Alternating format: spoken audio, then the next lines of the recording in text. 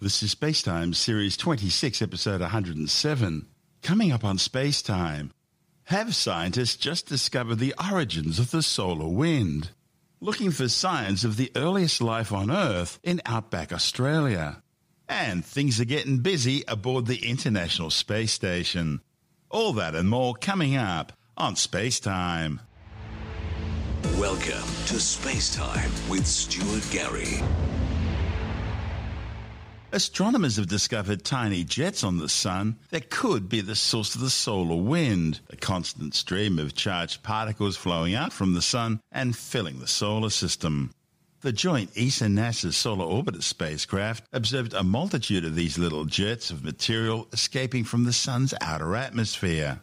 A report in the journal Science found that each jet lasts between 20 and 100 seconds and expels plasma at a rate of about 100 kilometers per second. So, could these jets be the long sought after source of the solar wind? The solar wind is composed mostly of protons, neutrons, alpha particles, and large chunks of magnetic field. Collectively, these are called a plasma, and the plasma propagates outwards through interplanetary space, colliding with anything in its path. When large enough chunks of the solar wind collide with the Earth's magnetic field, it produces spectacular auroral lights, the aurora australis and aurora borealis. But these space weather events can also produce geomagnetic storms. These can be powerful enough to fry the circuits on satellites and spacecraft, cause elevated radiation doses for crew in orbit, disrupt communications and navigation systems, and even black out power grids on the Earth's surface. Although the solar wind is a fundamental feature of the Sun, understanding how and where it's generated has proven to be elusive and has been a key focus of study for decades. Now, thanks to its superior instrumentation, Solar Orbiter has taken astronomers an important step closer. The data comes from Solar Orbiter's Extreme Ultraviolet Imager instrument. Images of the Sun's south pole revealed a population of very faint, short lived features that were associated with small jets of plasma being ejected from the Sun's atmosphere.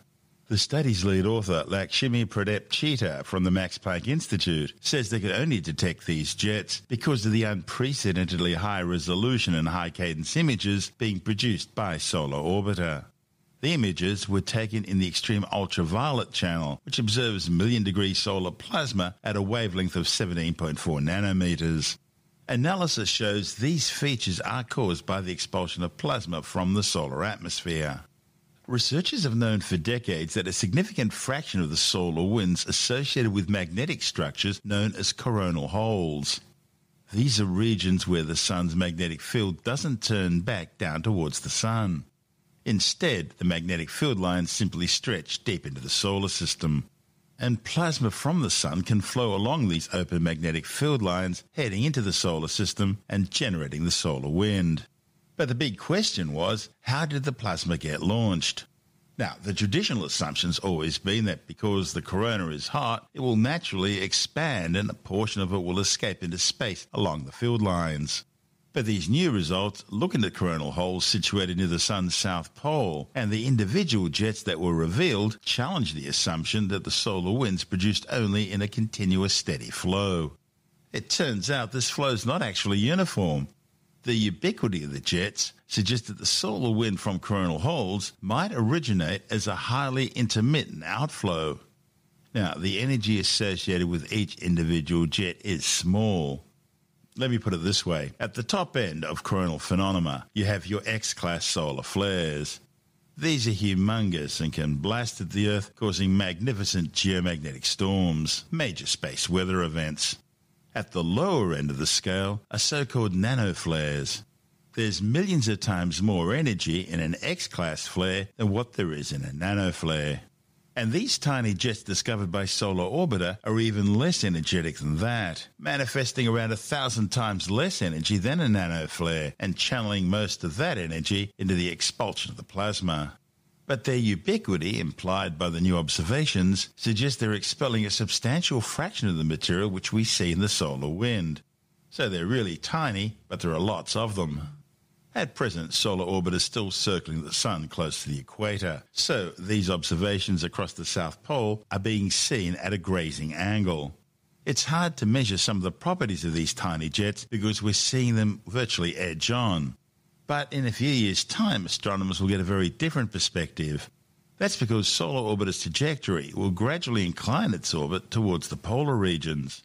At the same time, the activity on the Sun will continue to progress through the solar cycle, and the coronal holes will be popping up in many different locations, thereby providing scientists with unique new perspectives. This report from ESA TV. Built by Airbus in the UK, engineers had the challenging task of designing a mission capable of observing the Sun as close as 42 million kilometres away, within the orbit of Mercury. The spacecraft has a number of key new technologies that have been developed just for the purpose of flying close to the Sun. We have a specific heat shield designed just for Solar Orbiter that will reach temperatures of over 500 degrees centigrade on the front side and will keep things as cool as just about 50 degrees centigrade on the backside to protect the sensitive electronics. The Sun generates a bubble of plasma enveloping the entire solar system. Known as the heliosphere, anything within it, including Earth, is subject to a stream of charged particles called the solar wind. Violent space weather from flares and coronal mass ejections has the potential to damage satellites, disrupt communications, and knock out power grids on the ground. Solar Orbiter will help answer fundamental questions about the Sun's activity. One of the key questions the scientists have is how the heliosphere is actually generated and how it's accelerated. So what is, what is really um, driving the solar winds? And the second key question of the mission is understanding uh, what makes the sun change or vary over this 11-year cycle that we all know. So understanding the, uh, the magnetic properties of the sun and how these uh, change over this 11-year cycle is one of the key scientific objectives of Solar Orbiter. To measure the magnetic environment around the Sun, Solar Orbiter is fitted with extremely sensitive instruments. And to capture the closest ever pictures of our star, the heat shield has peepholes through it, covered by protective doors. We're going to places where no other solar telescopes have been before. We're going to be very close to the sun to take very high resolution images of the sun, unprecedented uh, spatial resolution, and we are also going to fly over the poles of the sun, regions that are very much unknown because we don't see them very well from Earth, but they are the source of the fast solar wind and therefore are very important. To reach this orbit after launch, Solar Orbiter will use the gravity of Venus and Earth over the course of several years. Solar Orbiter is building on the rich legacy of ESA's previous missions to the Sun, including Ulysses and SOHO. In orbit around our star for more than 20 years, SOHO is still returning spectacular images. This solar mission will complement NASA's Parker Solar Probe. We will not get as close to the sun, but we will have a vastly bigger payload complement, so more instruments with more cameras looking at the sun.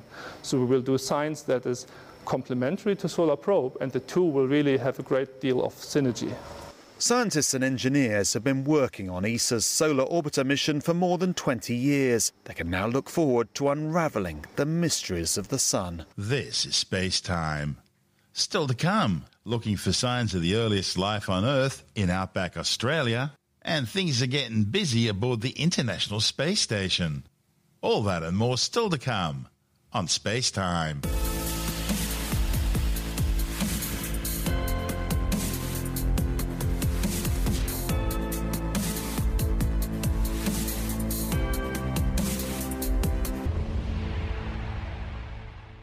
Geologists and astrobiologists with NASA have been scouring the Pilbara region of outback Western Australia looking for some of the earliest signs of life on Earth. The expedition, which includes scientists with the European Space Agency, the CSIRO, and the Australian Space Agency, are actually studying what signs of ancient life look like so they have a better idea of what to look for as they continue to explore the red planet Mars. Eric Ianson, the director of NASA's Mars Exploration Program, says the more scientists learn about Earth's evolution, the more they can apply that knowledge to their characterization of the red planet. And the outback Pilbara region is one of very few places on Earth that hold an intact geological record of the planet's early history, including some of its earliest known geological samples and some of the earliest samples of life. Now, specifically, this team is searching for fossilized stromatolites, mats of microorganisms that have been in existence for over 3.5 billion years and are thought to have supplied Earth with its oxygen. Living examples of these ancient bacterial structures can still be found today, mostly in sheltered coastal bays and inlets. And fossils of their ancient relatives can be found preserved in the rocks of the Pilbara region. Due to the geological and climatic processes which are continuously reshaping the Earth's surface, it's extremely difficult for stromatolites as well as other fossils to be preserved on Earth for long periods of time. So, really, only a fraction of past life remains in the geological record. Luckily, in the Pilbara region, the rock record's been able to stay relatively intact for billions of years. That's resulting in outcrops of geology that match the same age as what scientists are seeing on much of the Martian surface today. And that makes this area of planet Earth a critical testing ground for scientists and engineers to hone their skills for identifying signs of ancient life environments.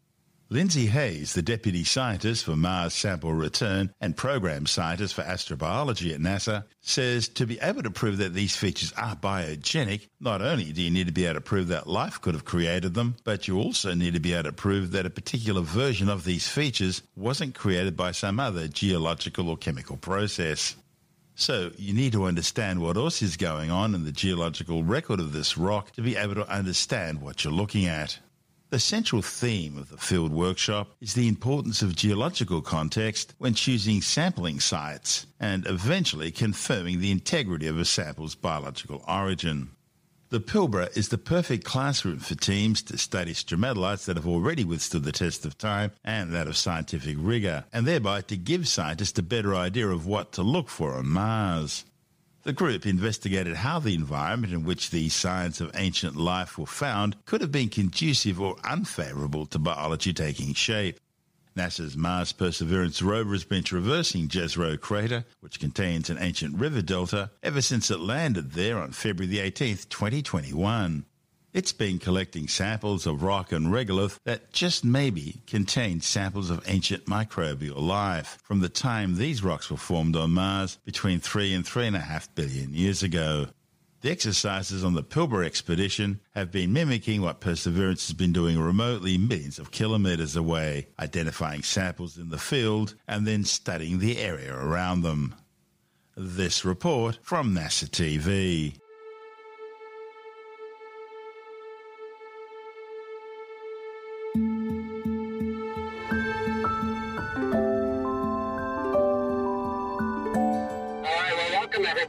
To. We're delighted to be able to take you into uh, a site containing the oldest, most convincing evidence for life on Earth. In rocks that are 3.5 billion years old. It's a great opportunity to come and see what you might be looking for on Mars. We can see rippled sediment, beautiful ripples here, continuing along and it comes up to the edge and it pinches out against the side of the stromatolite and then continues over here on the other side. Beautiful. So what we're looking at here in Western Australia are what are known as stromatolites. These are rock features that were precipitated or caused to precipitate by mats of microorganisms that were living at the time, again, 3.5 billion years ago.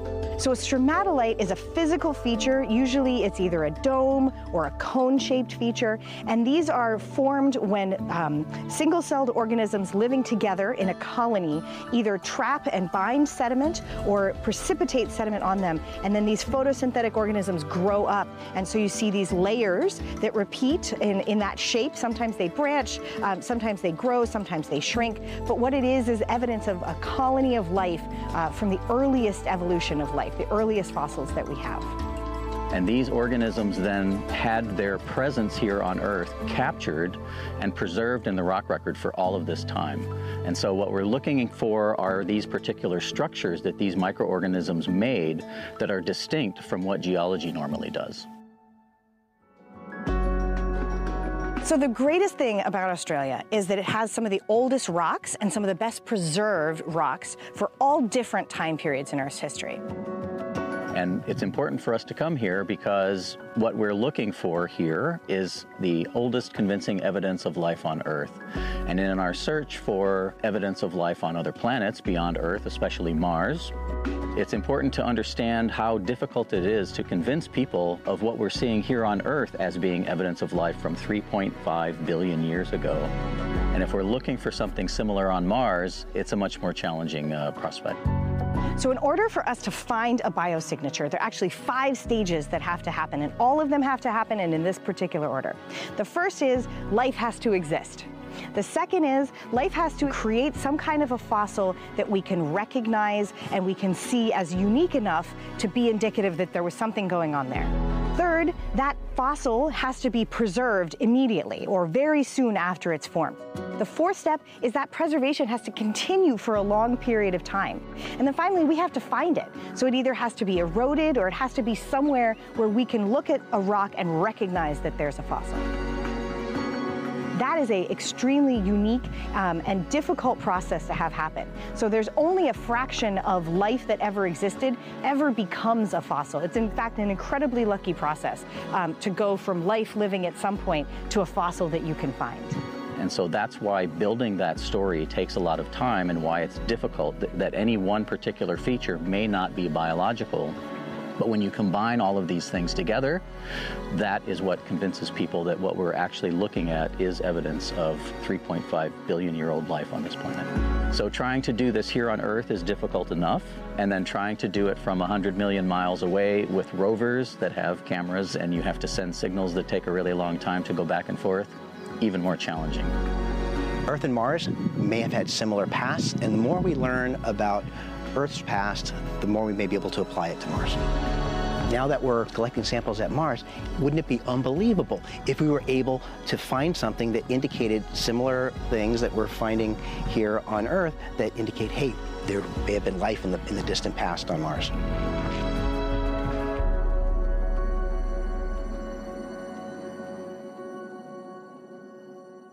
And in that report from NASA TV, we heard from Dr. Martin van Kranendonk from the University of New South Wales, Dr. Mitch Schulte, NASA scientist with the Mars Exploration Program, Dr. Lindsay Hayes, NASA's Deputy Program Scientist with the Mars Sample Return Mission, and Eric Ianson, NASA's Director for the Mars Exploration Program.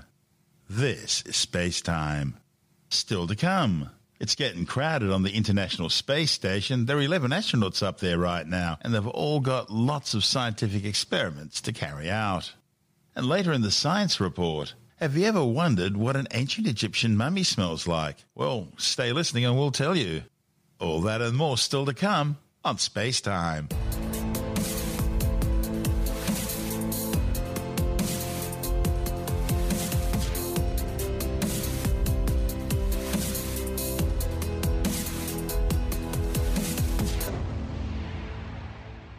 Four new astronauts have just arrived aboard the International Space Station following a textbook launch from the Kennedy Space Center in Florida. The flight aboard a SpaceX Falcon 9 rocket propelling the Dragon capsule Endurance had been delayed by a day to give engineers more time to review a component in the capsule's environmental control and life support system. The spacecraft docked with the space station's Harmony Module Zenith port 29 hours after lifting off from Pad 39A. The mission was the seventh crew transfer flight to the orbiting outpost using Elon Musk's SpaceX and the NASA's Commercial Crew program since 2020. Boeing's trouble-plagued Starliner spacecraft should be sharing the load with SpaceX, but ongoing technical issues have repeatedly delayed their flights, with the earliest launch time now not likely before next year. The only other manned spacecraft authorized to transport crew to the space station is Russia's Soyuz, which, unlike the Dragon and Starliner, is a single use spacecraft. The International Space Station remains a rare area of cooperation between Russia and the West in the wake of Moscow's invasion of Ukraine. The Crew 7 mission was also the most multinational, representing crews from America, Denmark, Russia, and Japan. They'll join the 7 Expedition 6970 crew currently on station and eventually replace the four Crew 6 members who'll return to Earth in a couple of days aboard their Dragon capsule Endeavour after spending six months on station. During Crew 6's time on the ISS, two Russian cosmonauts conducted a spacewalk using the Poisk airlock. The seven hour EVA or extra vehicle activity attached three debris shields to the Rassvet module. They also tested the sturdiness of a work platform, which is affixed to the end of the European robotic arm attached to the Nauka multi-purpose laboratory module. Crew 7 will also conduct a spacewalk during their stay on station. They'll be collecting samples to determine whether the space station releases microorganisms through its life support system vents and whether those microbes, if they're there, can survive and reproduce in space. Another experiment will aim to assess the physiological differences between sleeping on Earth and sleeping in space. This is Space Time.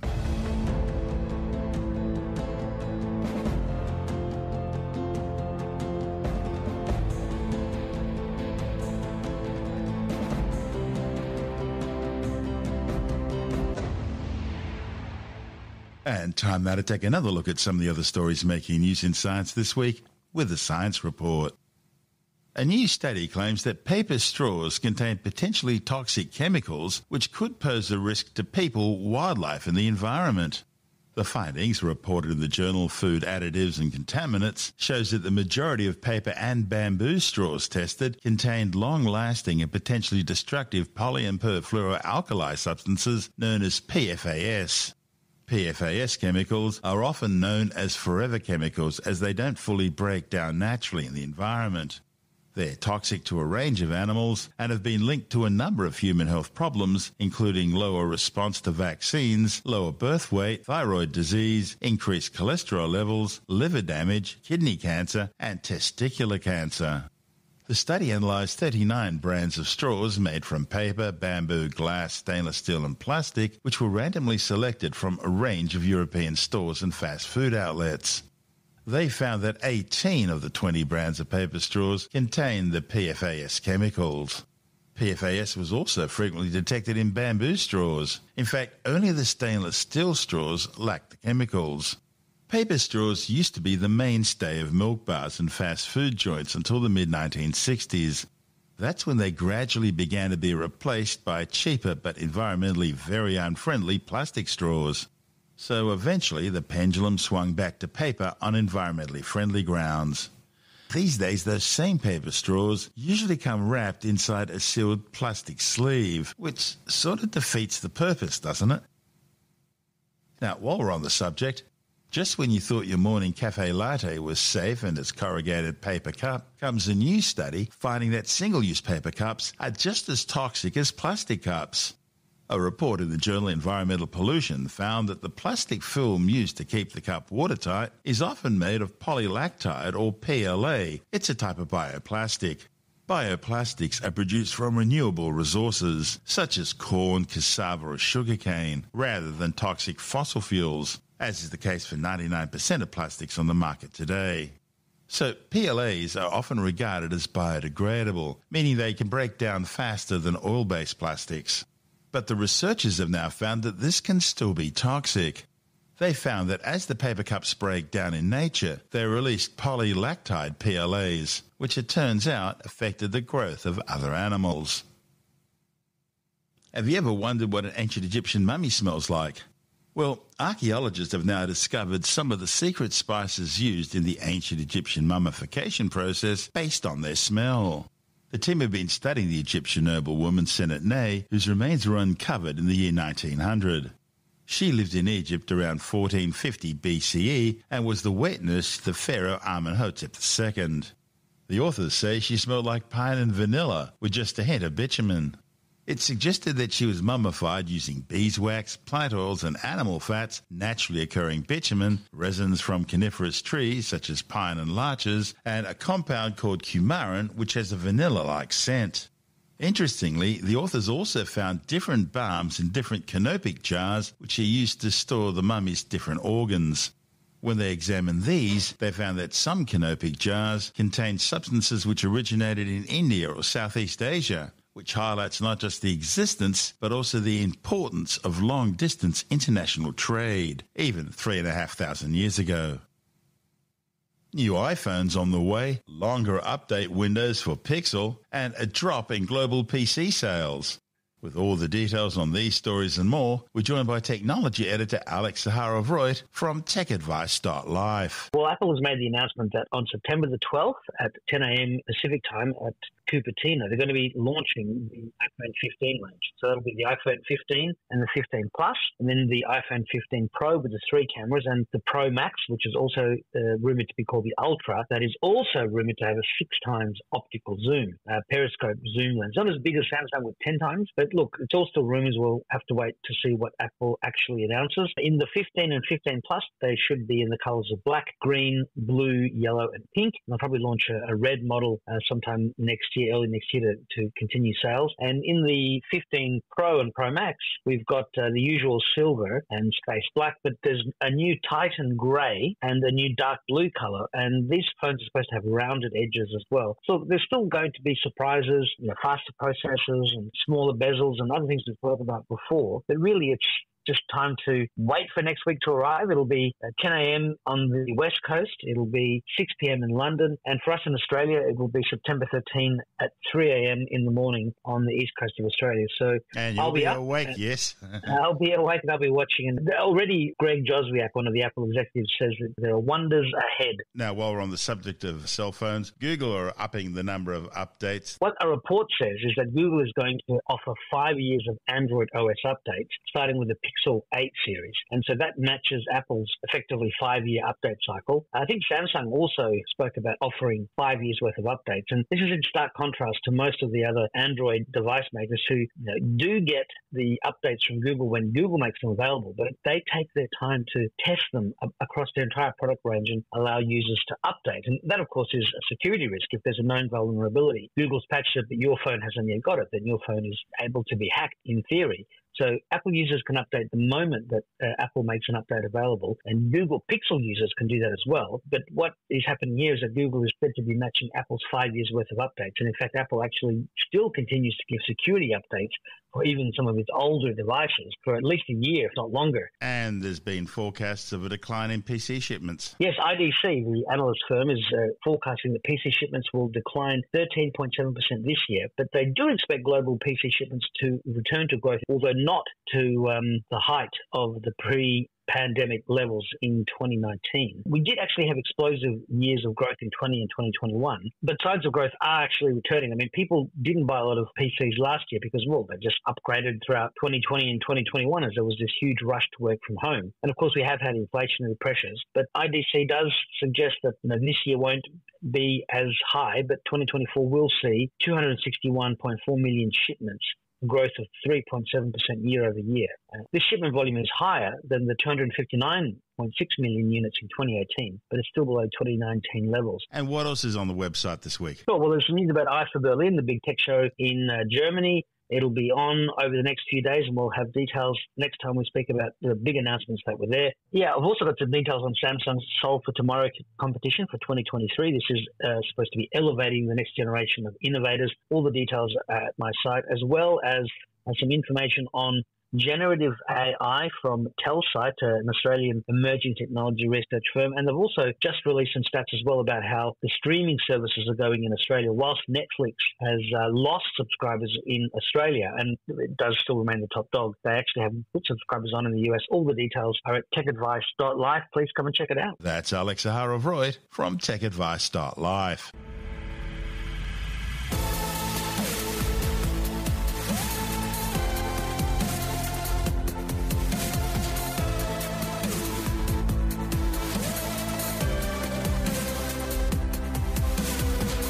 that's the show for now.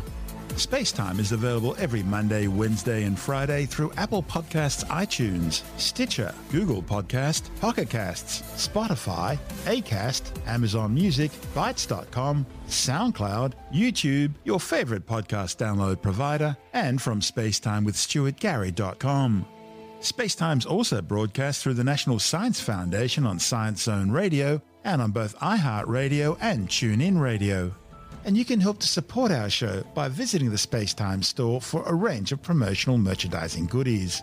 Or by becoming a Spacetime patron, which gives you access to triple episode commercial free versions of the show, as well as lots of bonus audio content which doesn't go to air, access to our exclusive Facebook group, and other rewards.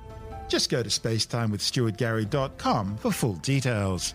And if you want more space time, please check out our blog where you'll find all the stuff we couldn't fit in the show, as well as heaps of images, news stories, loads of videos, and things on the web I find interesting or amusing. Just go to spacetimewithstuartgary.tumblr.com. That's all one word, and that's Tumblr without the E. You can also follow us through at Stuart Gary on Twitter, at Spacetime with Stuart Gary on Instagram, through our Spacetime YouTube channel, and on Facebook, just go to facebook.com forward slash spacetime with Stuart Gary. And Spacetime is brought to you in collaboration with Australian Sky and Telescope magazine, your window on the universe. You've been listening to Space Time with Stuart Gary. This has been another quality podcast production from Bitez.com.